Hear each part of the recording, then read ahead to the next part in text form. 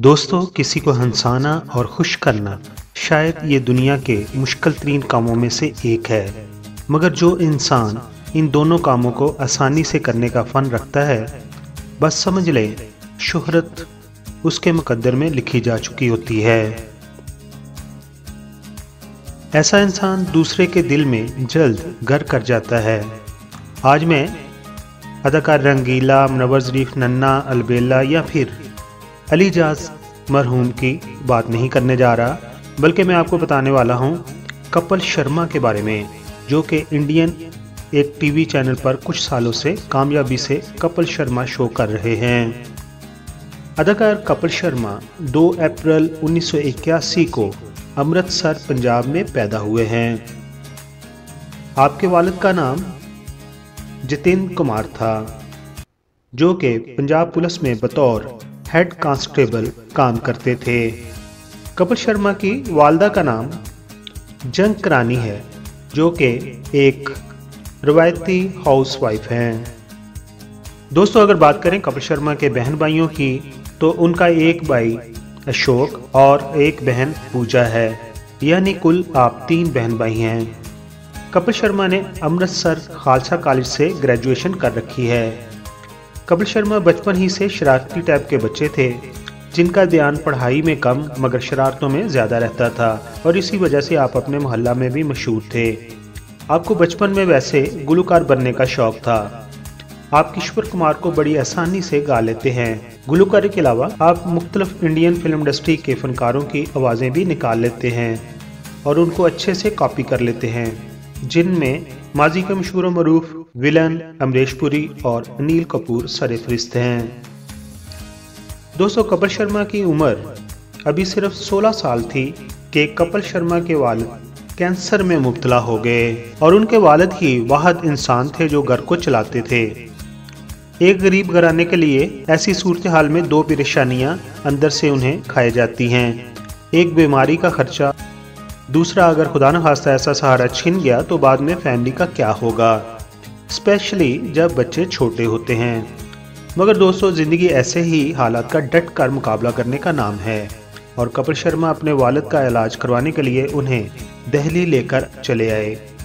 और दहली में ही जेर इलाज उनके वालद की डेथ हो गई। कपिल अपनी वालद की वफात पर बहुत ज़्यादा रोए। मगर शायद उस वक़्त किसी को मालूम नहीं था कि आज जो इतना रो रहा है अगले सालों में पूरी दुनिया को हंसाने का बायस बनेगा। आपने चंद पंजाबी के कॉमेडियन को टेलीविज़न पर कॉमेडी करते हुए देखा तो उन्हें ख्याल आया कि मैं भी ये काम कर सकता हूँ। फिर आपने 2005 में एक निजी टेलीविज़न के प्रोग्राम हँसते हंसाते रहो में एडिशन देने के लिए दिल्ली का सफ़र किया। मगर शो में मौजूद जजेस ने आपकी कारकर्दगी को देखते हुए रिजेक्ट कर दिया। मगर आपने हिम्मत नहीं हारी।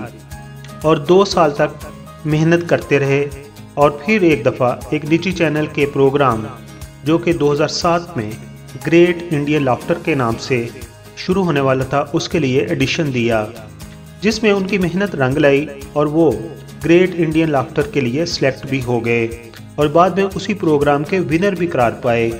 उसी निजी टीवी चैनल ने कपिल शर्मा की बेहतरीन कारकर्दगी पर विनर प्राइज के बतौर उन्हें 10 लाख रुपए के चेक से नवाजा। कपिल शर्मा के मुताबिक, उन्होंने उस रकम से अपनी बहन का ब्याह किया था, यानी उनकी शादी की थी।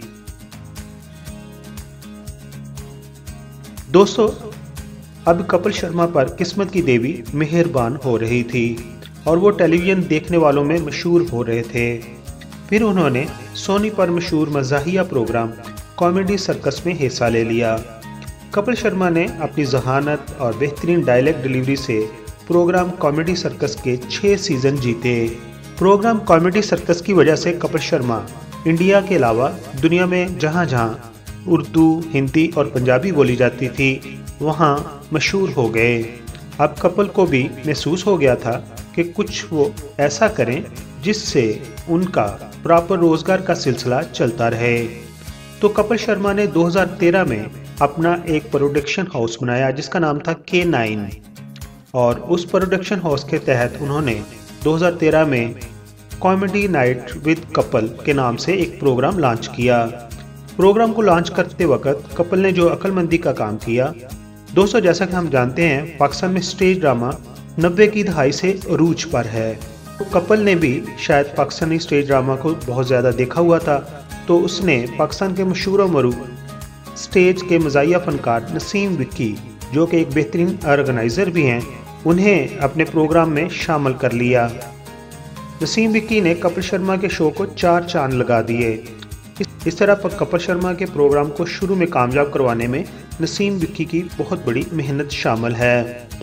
और यही वजह है कि कपिल शर्मा नसीम विक्की के लिए अपने दिल में बड़ी इज़्ज़त और एहतराम रखते हैं। वैसे तो दोस्तों कपिल शर्मा मशहूर होते गए तो ज़ाती तौर पर वो डाउन टू अर्थ होते गए, यानी उनके अंदर आजजी भी आती गई। कपल अपने program comedy night with Kapil की वजह से इस बात का अंदाज़ा आप इससे भी लगा सकते हैं कि बॉलीवुड के मशहूर और मरूफ लेजेंड अदाकार अमिताभ बच्चन भी उनके बहुत बड़े फ़ैन हैं और उन्होंने एक प्रोग्राम में कहा था कि मैं रोज़ आपका शो देखता हूँ। मोज़ सब्सक्राइबर, हम आपके शुक्रगुजार हैं कि आप अपना वक्त निकालते हैं और अपनी कीमती राय हमारी वीडियोस पर देते हैं। हमारी प्लीज़ ये है कि हम आपके कमेंट्स को अपनी अगली वीडियोस में शामिल करते हैं। दोस्तों, अगर आपने हमारा चैनल अभी तक सब्सक्राइब नहीं किया तो प्लीज़ सब्सक्राइब कर दीजिए और हमारे साथ जुड़े रहिए।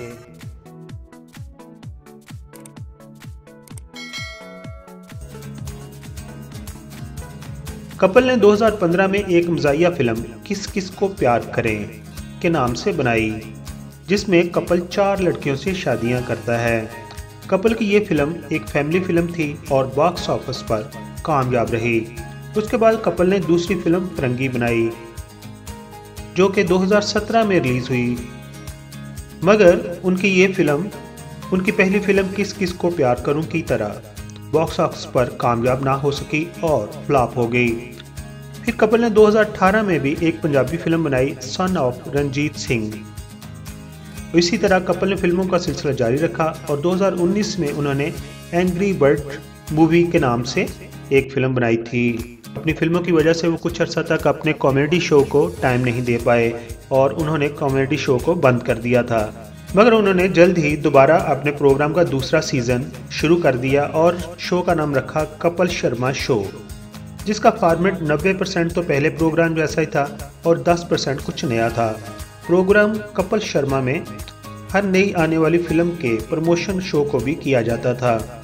इस तरह बड़े बड़े सेलिब्रिटीज़ आपके प्रोग्राम का हिस्सा बने।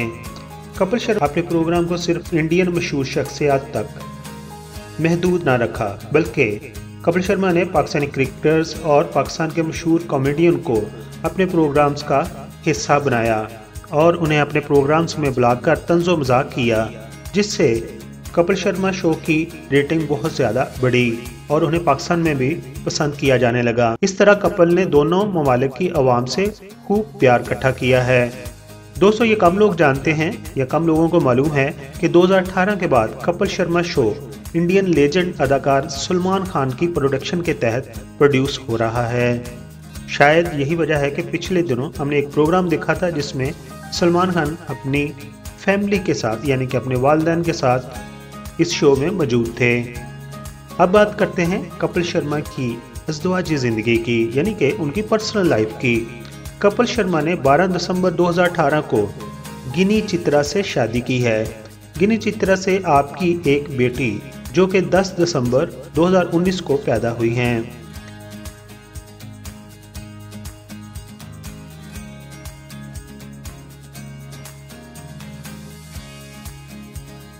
अब आखिर पर बात करते हैं आपके अवार्ड्स की। आपने कुल सात बड़े अवार्ड्स हासिल कर रखे हैं, जिसमें 2019 में इंग्लैंड के एक बड़े अदारे ने most viewed stand up comedy का अवार्ड भी उन्हें दिया है। आखिर पर हम उनके लिए ख्वाहिश करते हैं कि वो इसी तरह कॉमेडी करते रहें और अपने शो के साथ अपने चाहने वालों को हंसाते रहें।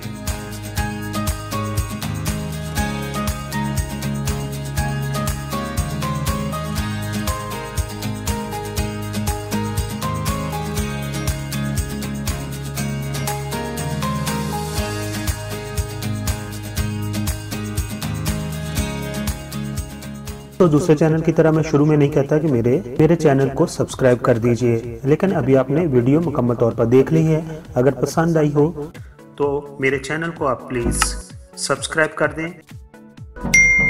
आप तमाम दोस्तों का बहुत बहुत शुक्रिया।